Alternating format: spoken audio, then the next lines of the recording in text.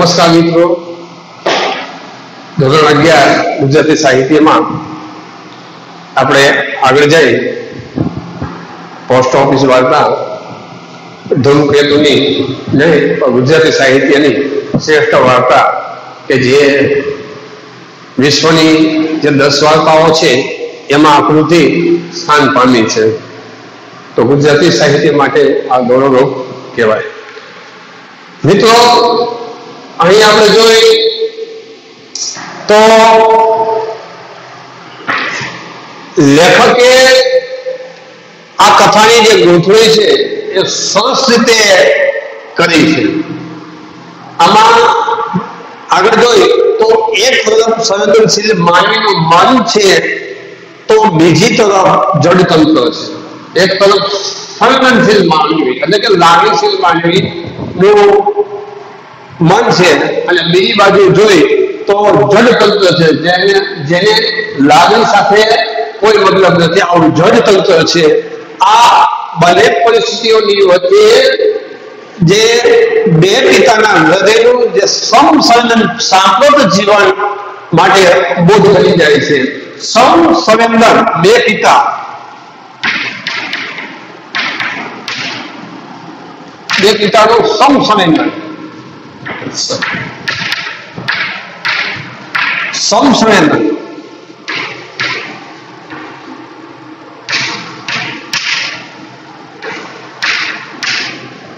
સરખી લાગણી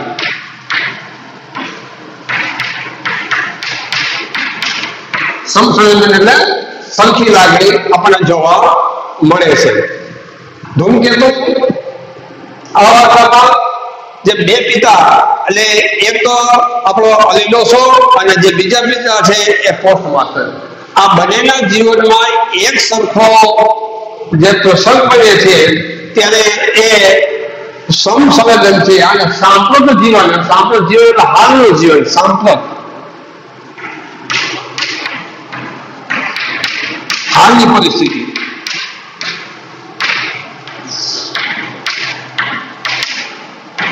સાંપ્રત એટલે હાલની પરિસ્થિતિ બનેની આપણને આમાં જોવા મળે છે. પણ કેવી જોવા મળે છે તેમાં આપણે આગળ જઈએ. પોસ્ટમાસ્ટર કદાચ, પોસ્ટ ઓફિસ કદાચ જગતમાં સૌથી રસહીન મકાન એનું ધર્મક્ષેત્ર બન્યું. એક જ જગ્યાએ ને એક જ ખૂણે તે હંમેશા બેસતો, એને એક, એને એવો જાણ્યા પછી સૌ હસતા. પોસ્ટ ઓફિસ જે ઘર છે, એ જગતનું કદાચ સૌથી રસી જે છે રસહીન એટલે રસ વિનાનું. રસહીન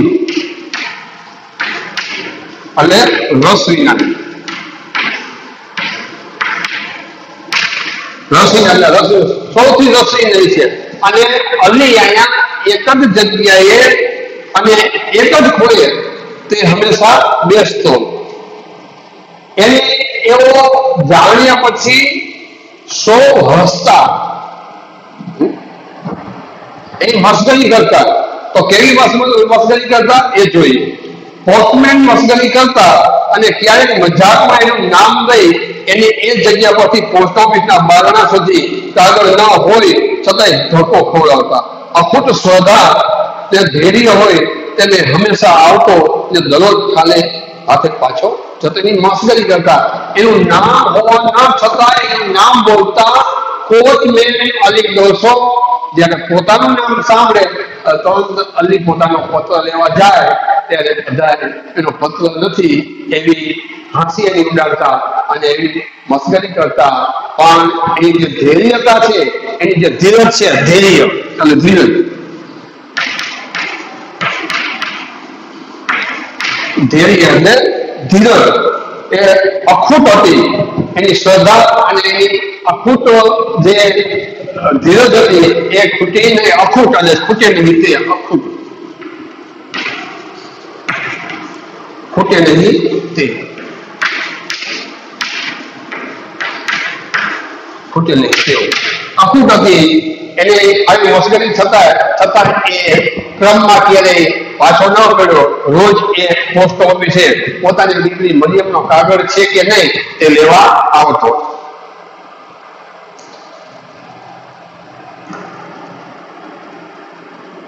હજી બેઠો થતો. એટલામાં એક પછી એક પટ્ટાવાળાઓ પોતપોતાની ઓફિસના કાગળો લેવા આવવા લાગ્યા. ઘણું કરીને પટ્ટાવાળા એ એ વીસમી સદીમાં અધિકારીઓની સ્ત્રીઓના ખાનગી કારભારી દેવા છે. એટલે આખા શહેરના દરેકે દરેક ઓફિસ, ઓફિસરનો ખાનગી ઇતિહાસ અત્યારે વંચાતો. કોઈના માથા ઉપર સાફા તો કોઈના પગમાં ચમચમાટી કરે તેવા બૂટ એમ સૌ પોતપોતાનો વિશિષ્ટ ભાવ દર્શાવતા હતા. એટલામાં બારણું ખુલ્યું દિવાન દીવાના અજવાળામાં સામેની ખુરશી પર તુંડા જેવું માથું ને હંમેશા દિલગીરી ભર્યા ઉદાસી જેવો ચહેરો લઈ પોસ્ટ માસ્ટર બેઠા હતા. કપાળ પર મોં પર કે આંખમાં કે તેજ ન હોય ત્યારે માણસ ઘણો કરીને ગોલ્ડ સ્મિથનો વિલેજ સ્કૂલ માસ્ટર આ સદીનો કાર્ટૂન કે પોસ્ટ માસ્ટર જોઈ છે. અને જે જગ્યાએ બેઠો હોય એ જ જગ્યાએ રોજ બેસે. અને એટલામાં તો એક પછી એક પટ્ટાવાળા પોતપોતાની ઓફિસના કાગળો અને પાર્સલો લેવા આવવા લાગ્યા.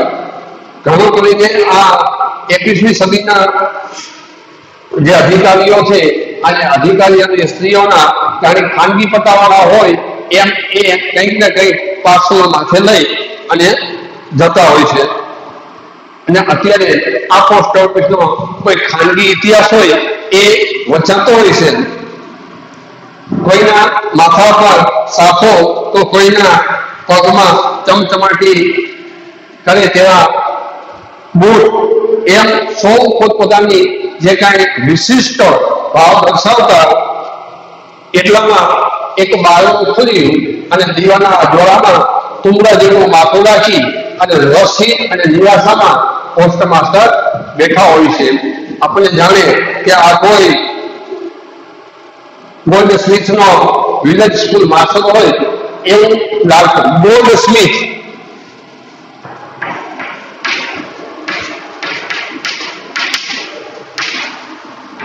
એક લેખક અંગ્રેજ લેખકનું નામ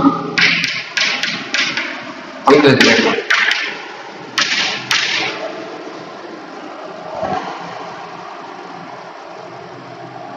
અને જગ્યાએથી ખસ્યો નહીં.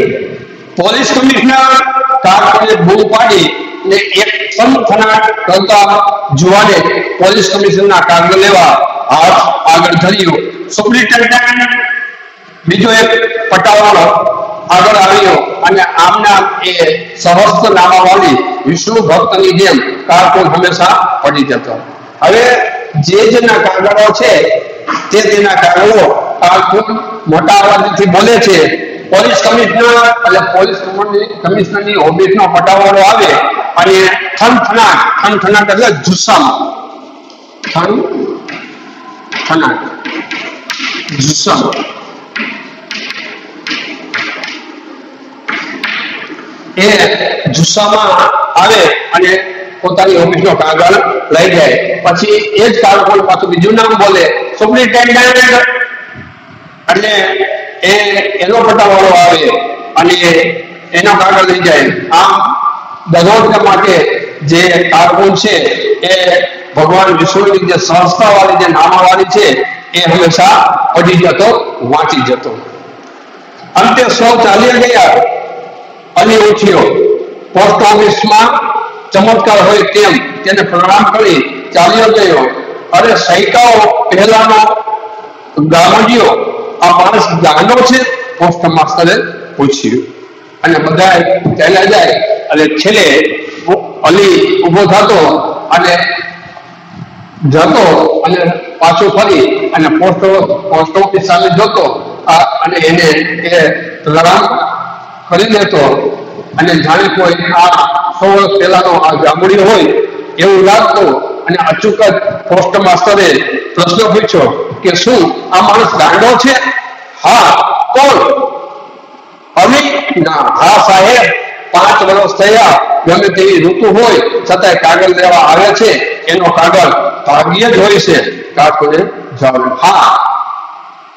સાહેબ, પાંચ વર્ષ થયા, ગમે તેવી ઋતુ હોય, પણ આ માણસ એનો કાગળ લેવા આવે છે. પણ એનો કાગળ ભાગ્ય જ હોય. કોણ નવરો બેઠો છે? અમે તે કાગળ ક્યાંથી આ જડતંત્ર કોઈ પણ પરિસ્થિતિ જાણ્યા વિના એ પ્રશ્નનો જવાબ આપો. એ આપણી અજ્ઞાનતા સૂચવે છે. જેમ કે આજે જે પોસ્ટ માસ્ટરે જવાબ આપ્યો કે કોણ નવરું બેઠું હોય કે આ ગાંડા માણસને કાગળ લખે? પણ એને એ ખબર નથી કે એ ગાંડો ખરેખર ગાંડો તો છે પણ પોતાની દીકરીના પ્રેમમાં ગાંડો છે. પોતાની દીકરીનો આજે પાંચ પાંચ વર્ષ થઈ ગયા છે પરણીને સાસરે મરિયમ ગઈ છે.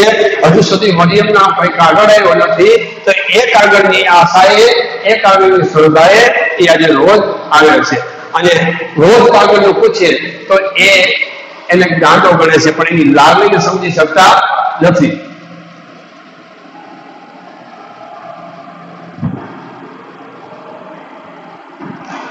અરે સાહેબ, તો એનું મગજ જ ચસકી ગયું છે. તે પેલા બહુ પાપ કરતો. એમાં કોઈ ખાનકમાં દોષ કર્યો? ભાઈ કર્યા ભોગવવા જ છે. પોસ્ટમેને ટેકો આપ્યો.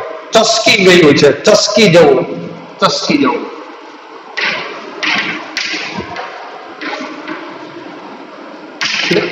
ખસી જવું. છટકી જવું જગ્યા.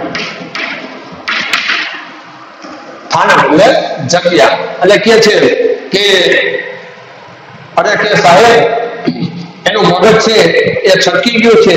તે પેલા બહુ પાપ કરતો કોઈ ખાનકમાં અને એનું મગજ છટકી ગયું. ત્યારે પોસ્ટમેન્સને પોસ્ટો મેને ટેકો આપ્યો કે જે કર્યા હોય પાપ, એ પાપ ભોગવવા જ પડે કરેલા કર્મના બદલા તો અહીં આપવા જ પડે છે.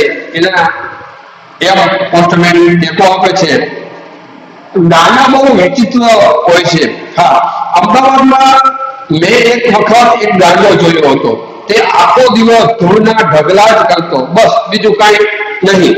બીજા એક ગાંડાને હંમેશા નદીના કાંઠા કાંઠે જઈ સાંજે એક પથ્થર પર પાણી રેડવાની ટેવ હતી. અહીં ગાંડાનો પુરાણ નીકળ્યો હતો. અહીં ગાંડાનો ઇતિહાસ નીકળ્યો હતો કે અમદાવાદમાં મેં એક ગાંડો જોયો હતો. એ હંમેશા ઢગલી ઢગલીના, ધૂળની ઢગલીના, ધૂળના ઢગલા જ કરતો. આ બીજું કાંઈ નહીં. તો બીજો એક ગાંડો હંમેશા નદીના કાંઠે જઈ અને એમાંથી પાણી ભરી અને પથ્થરો હવે પાણી પાયા કરે, પાણી પાયા કરે. અરે, એક ગાંડાને તો એવી ટેવ હતી કે આખો દિવસ આગળ ને પાછળ જ ચાલ્યા કરે ઘડીક આગળ જાય, ઘડીક પાછળ જાય, ઘડીક આગળ જાય. તો અહીં બીજો એક કવિતા જ ગાયા કરતો. એક જણનો પોતાને ગાલે લપાટો જ માર્યા કરતો પછી કોઈક મારે છે એમ મારીને રોયા કરતો. અહીંયા ગાંડાનો ઇતિહાસ નીકળ્યો છે અને બધા પોતપોતાના જે જીવનના અનુભવમાં જે જે કંઈ ગાંડાના અનુભવો હોય, એની વાતો કરે છે કે એક ગાંડો હંમેશા આગળ જાય, ઘડીક પાછળ જાય, ઘડીક આગળ જાય, ઘડીક પાછળ જાય. અને એક ગાંડો તો એવો કે આપણી કવિતા જ બોલે, કવિતા જ બોલે. તો વળી એક ગાંડો તો એવો કે પોતે જ પોતાના ગાલ પર મારે પછી લોવે કે મને કોણ મારે છે. એમ આખો અહીંયા ગાંડાનો ઇતિહાસ ખુલે છે. આજે પોસ્ટ ઓફિસમાં ગાંડાનો પુરાણ નીકળ્યો હતો. હંમેશા આવો એકાદ પ્ર- પ્રકરણ છોડીને એના પર બે ચાર મિનિટ વાત કરી, આરામ લેવાની ટેવ. લગભગ બધા જ ડોક્ટર વર્ગમાં દારૂની જેવ ટેવ, દારૂની ટેવની જેમ બેસી ગઈ છે. પોસ્ટ માસ્ટર છેવટે ઉઠ્યા અને જતા જતા કહ્યું, મારું ગાંડાની પણ દુનિયા લાગે છે. ગાંડા આપણને ગાંડા પામતા હશે અને ગાંડાની સૃષ્ટિ કારણ સૃષ્ટિ જેવી હશે.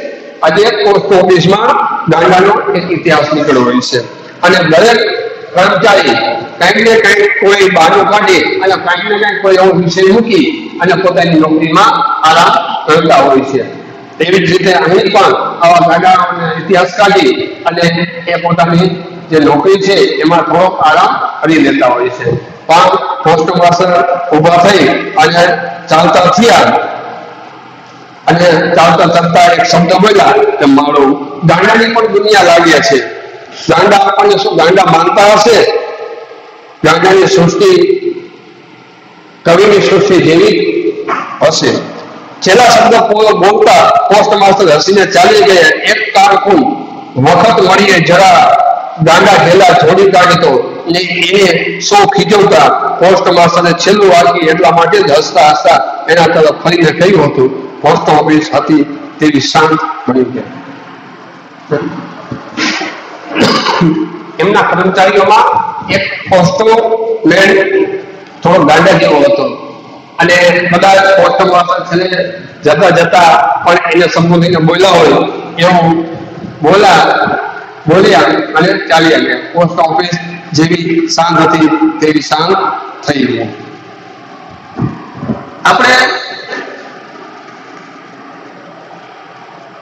આખી વાર્તામાં લેખક જે માનવ હૃદયની જે સંવેદના છે, એ સંવેદના કેવી છે? એ આજના સાંભત માણસને કે સાંભત માણસના જીવનમાં આ ખબર પડે નહીં. પણ માણસ જ્યારે પોતા ઉપર જ્યારે કોઈ આફત આવે, ત્યારે માણસ સામેના વ્યક્તિની જે કોઈ આફતો હોય, એ સમજી શકે છે. એના માટે ધૂમકેતુએ એક વાક્ય આપણને આપ્યું છે અને આ વાક્યની સમગ્ર વિશ્વએ નોંધ કરી છે. એ વાક્ય કંઈક આવું છે કે માણસ પોતાની દ્રષ્ટિ છોડીને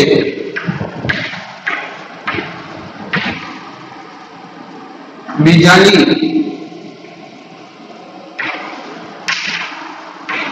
દ્રષ્ટિએ જુએ જુએ તો અડધું જગત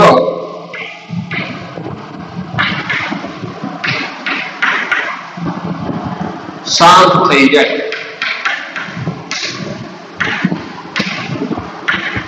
આમ જોઈએ તો આ જે પંક્તિ છે એ આખી જે વાક્ય રચના છે આખી જે પાઠ છે, એનો આ નિચોડ છે. આખા પાઠનો આ નીચો છે કે માણસ પોતાની દ્રષ્ટિ છોડીને બીજાની દ્રષ્ટિએ જોઈએ તો અડધું જગત શાંત થઈ જાય. આજે મારા ઉપર જે કઈ વીતી છે, મને જે કઈ દુઃખ ભર્યા છે, એવા જ જો બીજા વ્યક્તિ ઉપર જો દુઃખ પડે, તો એ વ્યક્તિને હું સમજાવ. અહીંયા જે બે પિતા આપ્યા છે. એક તો અલી ડોસો કે જે મરિયમના પિતા છે, અને બીજો પોસ્ટ માસ્ટર જે પોતાની પુત્રીનો પિતા છે. આજે અલી ડોસાને કોઈ સમજી શકે એવું નથી કે એક બાપની વેદના કેવી હોય. આજે એની દીકરી પરણીને સાસરે ગઈ છે, મરિયમ. અને એનો જે જમાઈ છે, એ કોઈ આર્મીની ફોજમાં છે અને એની બદલી થતા એ પંજાબ તરફ ચાલ્યા ગયા છે. ત્યાંથી દૂર દૂર પ્રદેશોમાંથી મરિયમનો આજે પાંચ પાંચ વર્ષ થયા, છતાંય કોઈ પત્ર પોતાના પિતા ઉપર હજી આવ્યો નથી. તો એ પિતાને જે પોતાની દીકરી પાંચ પાંચ વર્ષ થયા અને સાસરે ગઈ હજી સુધી એના કોઈ સમાચાર નથી. તો એનો પત્ર આજ આવશે, કાલ આવશે, આજ આવશે, કાલ આવશે, એવી શ્રદ્ધા, એવો વિશ્વાસ એક એના હૃદયમાં છે. એ હેતુથી એ રોજ પોસ્ટ ઓફિસે આવતો. સવારમાં આવી જાય અને સાંજે પાછો જાતો. આજે ગમે તેની ઋતુ હોય, પણ એ ક્યારેય એ ચૂકતો ને પોસ્ટ ઓફિસે અચૂક પોતાની પુત્રી માટે એ આવી જતો. તો આ અલી ડોસાની જે વેદના છે, પોતાની દીકરી પ્રત્યેની એ બાપ છે, અને બાપની એક દીકરી પ્રત્યેની કેવી વેદના હોય, એ અલી ડોસો જ સમજી શકીએ. પણ એ જ ઘટના જ્યારે પોસ્ટ માસ્ટરના જીવનમાં બનશે કે પોતાને પણ એક દીકરી છે, અને એ દીકરી ઘણા સમયથી બીમાર રહે છે, અને એનો પણ એક કાગળ આવવાનો છે પણ હજ સુધી આવ્યો નથી. તો એ ખેવનામાં અને જમનામાં અને એ પણ જ્યારે એ કાગળ આવવાનો ઇંતજાર કરે છે, એ કાગળ આવવાની જે ઘડીઓ ગણે છે, ત્યારે એ પોસ્ટ માસ્ટરને અલી ડોસાનો દીકરી પ્રત્યેનો જે મર્મ છે, દીકરી પ્રત્યેનો જે પ્રેમ છે, દીકરી પ્રત્યેની જે સંવેદના છે, દીકરી પ્રત્યેની જે લાગણી છે, એ એને સમજાય છે. એટલે આપણું આ જે વાક્ય છે ધૂમકેતુનું કે માણસ માણસ પોતાની દ્રષ્ટિ છોડીને બીજાની દ્રષ્ટિએ જોઈએ તો અડધું જગત છે ને, એ શાંત થઈ જાય. કારણ કે અત્યારે કોઈ કોઈની, કોઈને વેદના કે કોઈ કોઈને, કોઈના દુઃખ જાણવાનો કોઈ પાસે સમય જ નથી. આજે કોઈનું દુઃખ આપણાથી દૂર તો ના થાય.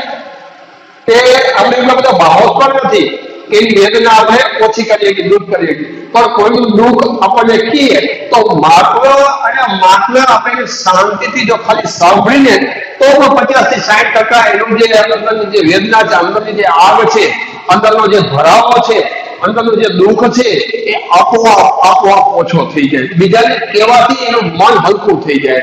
તો અત્યારે કોઈ પણ પાસે નહીં. કોઈ અથવા તો શું, કુટુંબ પરિવારમાં પણ કોઈ પાસે કોઈ કોઈ પાસે એટલો સમય નથી કે એ એકબીજા એકબીજાની દુઃખની વાતો સાંભળે.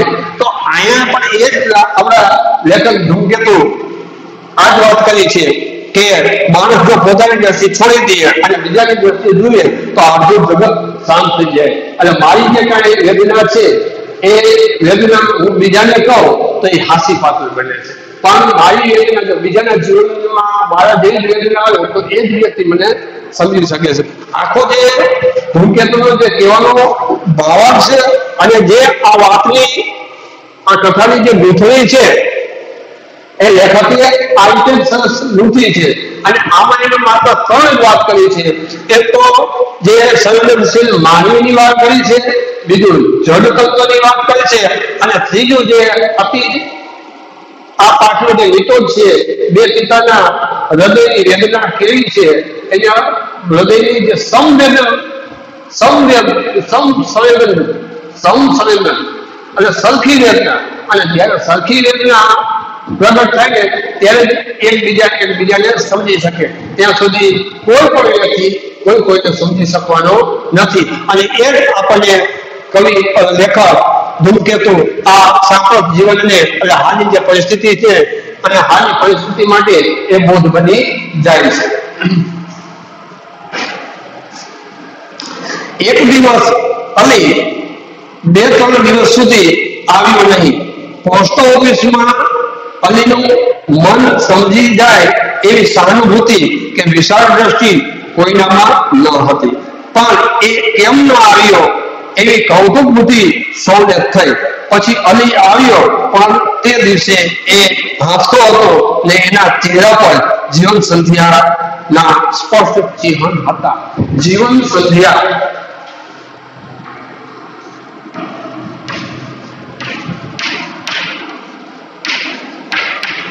મૃત્યુ નજીક હો. મૃત્યુ નજીક હો. એક દિવસ ઘટના બને છે કે અલી બે ત્રણ દિવસથી એ પોસ્ટ ઓફિસે આવ્યો નથી. અને પોસ્ટ ઓફિસમાં અલીને સમજી શકે એવું સમ સંવેદન કોઈ પાસે હતું નહીં. કોઈ પાસે હતું નહીં. કે અલીનો જે દીકરી પ્રત્યેનો જે મર્મ છે, દીકરી પ્રત્યેનો જે પ્રેમ છે, અને એ એનો જે ભાવ છે, એ ભાવ કોઈને કોઈ સમજી શકે એવું પોસ્ટ ઓફિસમાં હતું નહીં. વિશાળ દ્રષ્ટિ કોઈનામાં હતી? નહીં. કેમ કે એવી કૌતુક બુદ્ધિ સૌને થઈ હતી કે કેમ ન આવ્યો? શું, ક્યાં કારણ એવું કઈ સમજી શકીએ બધું નહીં. અને જ્યારે એ એક દિવસ પોસ્ટ ઓફિસમાં આવ્યો આવ્યો, ત્યારે એ હાંફતો હતો. તો શું કામ હાંફતો હતો? હતો ને એની, એના ચહેરા ઉપર જે જીવન સંધ્યા છે ને, સ્પષ્ટ એના ચિહ્નો દેખાતા. એ હાંફતો હતો. અને હવે એવું લાગતું હતું કે હવે અલી વધારે સમય કાઢી હતું નહીં અને મૃત્યુ છે એની સામે દેખાતું હતું. આજે અલી પાંચ પાંચ વર્ષ સુધી પોસ્ટ ઓફિસના ધક્કા ખાધા દોડા ગીરા પણ હજી સુધી એની દીકરી જે મરિયમ છે, એ મરિયમનો હજુ કોઈ સમાચાર નથી કે હજુ એમનો કોઈ પત્ર નથી. પણ હવે ધીમે ધીમે અલીની પણ અંદરની જે શ્રદ્ધા હતી, અંદરની જે ધૈર્યતા હતી, એ તૂટતી જાય છે. અને આજે બે વર્ષથી આવ્યો નહોતો, પણ આજે એ આવ્યો ત્યારે એના ચહેરા ઉપર અને એના હાવભાવ ઉપર એવું લાગતું કે અલી હવે વધારે સમય કાઢે એમ નથી. કારણ કે જે મૃત્યુ છે, એ મૃત્યુ એને નજીક દેખાતું હતું. તો આખી વાત બાબતમાં અલીના જીવન સંધ્યા છે એ હવે સામે આવે છે અને અલી શું કહે છે તે જુઓ. આજે તો અલીએ અધીરા બનીને પોસ્ટ માસ્ટરને પૂછ્યું, માસ્ટર સાહેબ, મારી મરિયમનો કાગળ છે? પોસ્ટ માસ્ટર તે દિવસે ગામ જવાની ઉતાવળમાં હતા ને તેમનું મગજ સવાલ જીકી શકે એટલું શાંત ના હતું. ભાઈ, તમે કેવા છો? અને હવે ધીરે ધીરે અ- એ જે ધીરજતા છે, એ ખૂટી જાય છે. અને એક દિવસ એ આજે એ અલી અધીરો બની અધીરો અને ધીરજ ખૂટી જાય તેઓ બની અને પોસ્ટ માસ્ટરને પૂછી નાખે છે કે પોસ્ટ માસ્ટર સાહેબ, મારી મરિયમનો કાગળ છે અને એ જ દિવસે પોસ્ટ માસ્ટર બહારગામ જવાના હોય છે અને એને ઉતાવળ થતી હોય છે અને તરત જ પોસ્ટ માસ્ટર એને પ્રશ્ન કરે છે કે ભાઈ તું કોણ છો?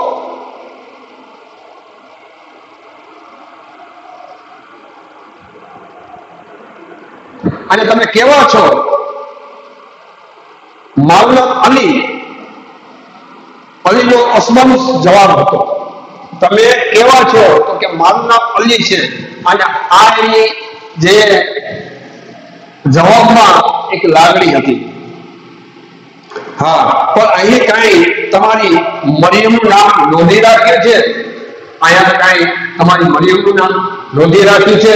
કે અમને ખબર હોય કે મરિયમ એટલે તમારી દીકરી હોય, એવી અહીંયા તમે નોંધ કરી છે? આવું ઉતાવળે ઉતાવળે શબ્દથી એ પોસ્ટ માસ્ટર અલીને તોછડો જવાબ આપે છે. નોંધી રાખો ને, ભાઈ, વખત છે, એ કાગળ આવે કે હું ન હોઉં, તો તમને ખપ આવે કોણી જિંદગી શિકારમાં ગાળી હોય એને શી ખબર કે મરિયમનું નામ એના પિતા સિવાય બીજાને મન બે પૈસા જેટલી કિંમતનું છે. ખપ.